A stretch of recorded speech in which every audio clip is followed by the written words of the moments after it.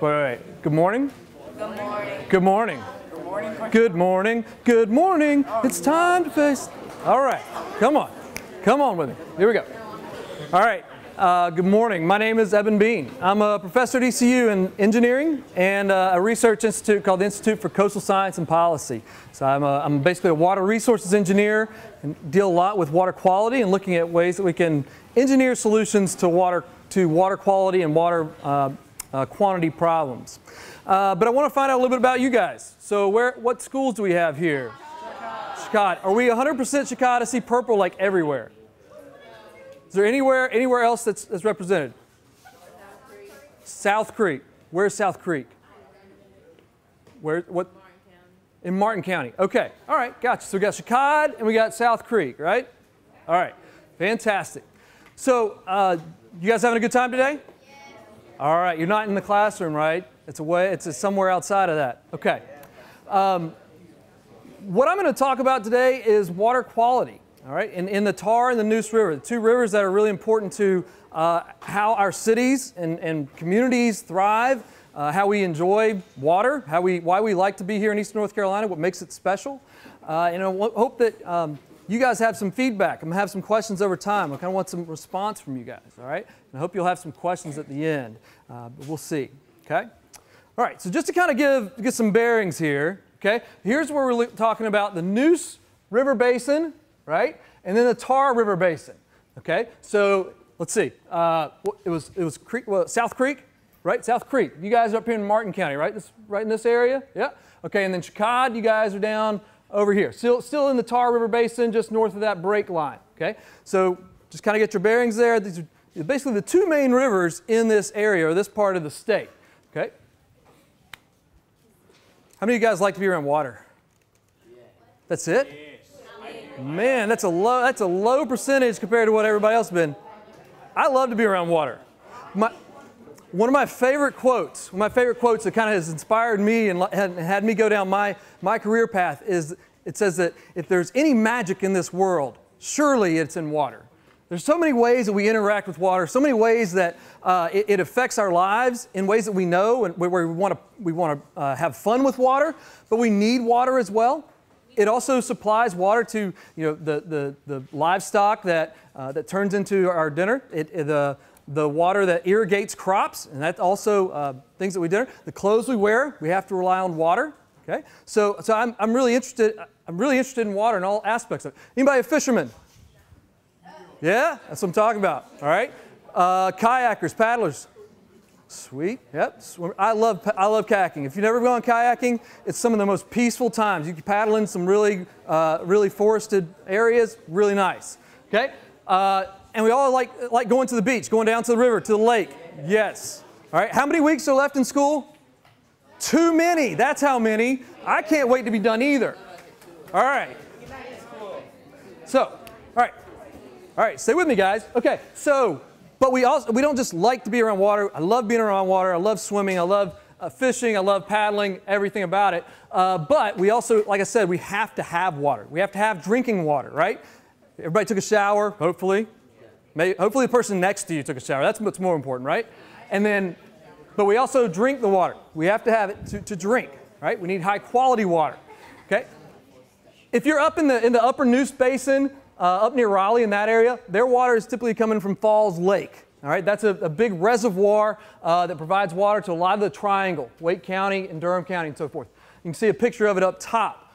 Uh, down closer to in this area, we used to, not too long ago, get all of our water just about from the ground. groundwater is great because it's high quality. There's not much that's in that water that you have to take out.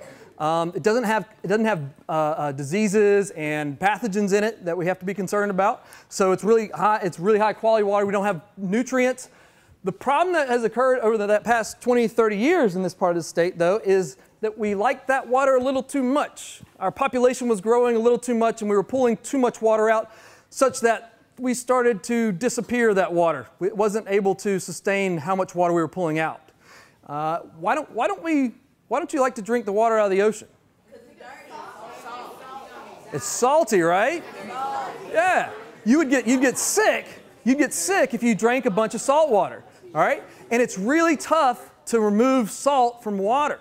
All right, so there are some water plants on the coast of North Carolina, out on the Outer Banks. That's the only supply they have, and they do do de uh, desalination or reverse osmosis for their water supply. But I bring that up because what was happening here is we were pulling all this water out of the ground, and what it did was it started pulling water from the ocean basically underground into the, into the groundwater. So there's places around like uh, basically Carteret County where you have Morehead City, Emerald Isle, Jacksonville, those areas. If you go down, and go down underground, you're going to hit salt water now where it used to be fresh water. So their well, if you had a well there, a lot of those wells went from being fresh water, which is fine to drink, to starting to be saltier and saltier, which is not fine to drink, right?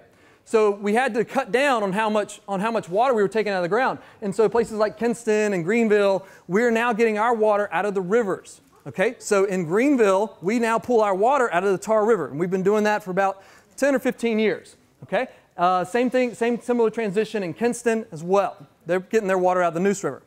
So there's two main aspects of water that we really care about. All right? The first is quantity. We got to have enough water, right? If you turned on the tap and there wasn't any water, that would be rather shocking and rather distressing, right? Your water gets shut off, you don't have it available. Uh, all right, I'm not taking a shower today, I'm not getting a glass of water. It's a big transition, all right? In Eastern North Carolina, we're pretty fortunate that we don't have to worry about a quantity water issue, all right? You can look at the map up top, and that shows basically the different colors show how much water the, the, across the state we get in a year. Okay, so the red areas are about four, less than 42 inches, so like three and a half feet. That's about three and a half, I think. All right. The green and yellow, that's getting up to more like the 48 to 50, and that's and that's that's more along the lines of what we have here in Greenville in this area, Greenville and Martin County, uh, is more like 48 to 50 inches, about four feet of water. Where is the, where's the most rain occur? Where do you guys see? The rainforest. The rainforest. That's right. Where? In the mountains, right? Yeah, usually I have to tell people about it. They're not, they're not aware that it, that it actually is like a small, it is a, classified as a rainforest because it gets so much rain uh, in some of our mountain areas. Basically, the mountains are so high that it sort of blocks the clouds from, from migrating past them and sort of causes a lot of the, the rain to, to fall there. So anyway, we don't have a whole lot of issues with too little water. Oftentimes we have too much water. In general, though, our long term here in Greenville, we have the, the, the Tar River we have about 1,900 cubic feet per second. So like 2,000 cubic feet every second. And that that's converts to 1.2 billion gallons per day. So a gallon of milk, right? If you can try to envision 1 billion of those, that's how much water will flow by Greenville in the Tar River every day. Greenville pulls out about 10 million, 10 to 12 million gallons each day. That's only about 1% of the flow that goes by. Okay? So we're not usually in a, in, a, in a situation where we don't have enough water. But you've seen places like California, right? Where they have had water limitation issues. Yeah, anybody familiar or have heard about what's going on in California? Yeah, they have a big, it is a big drought, yeah. The interesting thing, if you look, if you go to California, a lot of their, their water supply, how, how much of that state gets their water is from snowmelt in the mountains. Okay, so all winter long there's snow that, that gets that falls and it deposits the snowpack.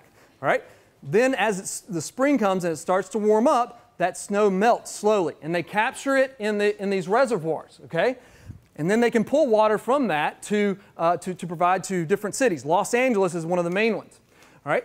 So what's happened though is they've had some issues with climate change where they're not getting as much snowfall or it's not falling as snow, it's a little bit warmer and it's falling as rain. Right? So they're not getting this, this, this, this springtime melt that is going to fill up their, their reservoirs. So they have some issues with quantity. Fortunately, we don't have that. But we do deal with the issue of quality quite a bit around here. That's our biggest concern in, in North Carolina. Uh, one of the most transformative uh, events as far as water quality goes in the United States was what's called the Cuyahoga River Fire. All right? Anybody ever been to Cleveland? Cleveland? Cleveland rocks! Cleveland rocks! Yeah, Cleveland. So there's a river there, uh, the Cuyahoga River, and what had happened is there's a lot of industry all along the Cuyahoga River. And so these industries were, were dumping contaminants or there was chemicals getting into the river. And then one day they were doing a lot of, uh, uh, of welding and, and bridge work on this bridge here. Well, the sparks were falling from the, from the welding and it basically caught the river on fire, right? Big red flag. That's a problem. I don't want to drink that water, right? you guys seen in, uh, there's been some, some, uh, some issues with fracking or some, some looking at there's uh, petroleum getting into some, water, some groundwater wells where people can light their, their tap water with a lighter? Have you guys seen that? No? Okay, so, so, if you have, so if you can light your water on fire, that's not a good thing, right? Just, just, if you don't take anything else away today, that's a bad thing, okay? So this sort of was a major incident and it brought a lot of attention to hey, we need to start taking more care of our water quality and looking at how we protect that water. Um, have you guys looked at, have you heard about Flint, Michigan? What's, what's the issue in Flint, Michigan? Lead, right? Where's lead coming from? Do you know? Old pipes, that's right. So what happened, in, so some of you goes, it sounds like you know, a little familiar, but they had, they had water supply that was coming from Lake Huron, really high quality water. And then they were forced to transition to the Flint River, which has a lot of uh, ions and other contaminants in it. And they didn't treat the water appropriately. Really, what was happening is they didn't add some phosphorus to kind of continue to. Uh, the phosphorus basically created the seal inside of the lead pipes so that there was, there was no way for the lead to interact with the water. They didn't put that in, they didn't add, and then they added a lot of chlorine for disinfection, and the chlorine was actually kind of stripping out that phosphate. And then the chlorine, uh, once that phosphate was gone, it started stripping out the iron and the lead. And that's how the lead was starting to get into the water from these old pipes. And you can see that, you know, you were seeing the, you can see the, the brown water here. That's due to the chlorine stripping out the iron initially in the iron pipes. So you, you could see definitely a different color there in the, in the water system. All right, so we, what's that? Sorry, I thought I heard a question. Uh, so we don't have this, right now, we don't have this kind of an issue here in eastern North Carolina. All right, so it's not something we're worried about. We're worried about some other different types of water quality issues. What types of pollutants do you see here? Dirt, sediment, runoff, right? So we get sediment from either you know streams where we have too much water going through and scouring out or eroding those the, the stream channel. So we get a lot of sediment and dirt. Uh, it doesn't. You don't really want to go fishing here. You don't want to go swimming, right? looks pretty gross, right? All right. Um, what else do you see here? So we had sediment. Somebody said algae. You're going to hear a lot more about algae here from, um, from, Mr., from Mr. Mark Vander Borgh. Okay? Um, but this is what causes algae. Does anybody know? What's the most, mo- most common cause of algae? Sun contributes. What's that? Fishes. Not fishies. Nutrients. Too much nutrients in the water. Okay? And so we can have, and the nutrients can cause algae to, to grow and bloom, and then we, we can cause uh, fish kills either due to lack of oxygen or other chemicals or, or compounds that are released by the algae. You guys will hear a little bit more about that here in a moment.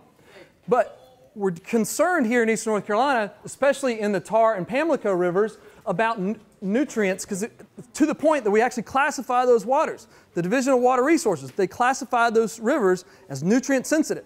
Basically, if we get too much nutrients, then they're automatically going to have an algal bloom. That doesn't happen everywhere, but our waters are just very susceptible to it. So we have different ways that nutrients are getting into that water. Okay, we have runoff from ag fields where we put fertilizer. We have uh, we have uh, uh, livestock operations. We have wastewater treatment plants that we try to get a lot of those nutrients out, but oftentimes we don't get all of the nutrients. And then stormwater runoff, where we get a lot of atmospheric deposition of nitrogen, and that washes off of the, off of the, the pavement surfaces and into our waterways. Okay, so we've got a lot of different, there's a variety of sources of, of nutrients that can come into our, our waterways, and it's not always at a, at a centralized one individual spot. All right? talked about wastewater plants, and usually we think about, you know, most cities and, and developed areas, we have sort of a, a centralized plant. This is a, an image of, um, this is Morehead City down in Carteret County. All right, they have a centralized or, or a city municipal wastewater plant. All the wastewater, these red lines here are the sewer pipes. All that waste goes to that, that central plant and they process it and treat it very well and they, before they discharge the water uh, either over land or into the waterways. Okay? But in the area outside of that yellow dotted line is septic tank. Okay, so they are treating water. So a lot of homes uh, treat water or treat the wastewater on site. Okay, most of you guys, it seems like from where the schools where you're at, are probably going to be outside of areas that have a centralized septic, a centralized wastewater treatment system. So you probably, a lot of your homes have septic systems, right? And they're very common around North Carolina, especially in eastern North Carolina. One of the issues, though, is that the septic systems, the waste that comes through there, and we're usually concerned about nitrogen, okay? Converting it from an organic form into nitrate. And we assume a lot of times that that nitrate is going to go through the soil as, as it's discharged underground uh, through pipes, and it's going to go through the soil and be removed or filtered out. But if that doesn't happen and it gets down to the water table, then it can start to basically migrate those, the nitrate and the nutrients into a nearby river, stream, or other type of waterway. So it's really hard to get at this type of a, a source of nutrients. Because we look at, if you look at a home that's, or a development area that's on the water, you can have homes, you know, hundreds of homes in a very dense area that are all having plumes of, of nitrogen coming from it. All right? So I mentioned stormwater runoff, and that's another issue uh, that I, I spend a lot of time working on. Um, and the issue here is that when we start to increase the amount of imperviousness in a, uh, in a watershed, okay? So when we don't have any, any imperviousness, like a forested area, all right, the water, when we have rainfall, that water balance, about 40% goes evapotranspiration, 50% goes infiltration, and only 10% of that actually leaves and flows across the surface and goes into a stream or waterway. And so whenever that water flows across it, it can carry contaminants or pollutants with it. Well, as we start to increase the amount of imperviousness, we can uh, we start to decrease the infiltration and evapotranspiration and start to increase the runoff. So now we've only got 10, per, 10 to 20 percent of the area is impervious, but we've already doubled the runoff. Okay. When we go to something that's more like a residential neighborhood, okay, 30 percent of that water is now runoff, and we've gone down to 35 percent for infiltration and evapotranspiration, three times the amount of runoff. And we get in heavily, highly urbanized areas then we have very, very high impervious, 75 to 100% impervious, then we can have you know, runoff uh, five times as much as what the pre-developed condition was. All right? So we're increasing a lot of volume of runoff from those areas. So, what's that? Sure, yeah, sorry about that. So impervious is like concrete or asphalt or rooftop. So where water that falls on it cannot go through that surface. It has to flow along that surface. Grass or soil is pervious, meaning that water can flow into that and, and flow down through the soil and into the groundwater. Okay? Good, good. Yeah. Um, if you have questions or clarifications, let me know. So the, you know, I, I'm interested in my area is working on solutions to where we can develop an area, have homes and commercial areas, but we can also treat the water or the stormwater from it. So we have different practices or techniques here for development. Bioretention cell. This is where water comes from a parking lot usually. It gets captured and then the water infiltrates into the soil or it gets filtered before it goes into the storm pipe. Okay? So that basically removes pollutants and it captures um, and filters that water. Swales, these a lot of times in, in, in neighborhoods, you'll see swales in the, or, or ditches, we call them a lot. Water can then soak into the ground.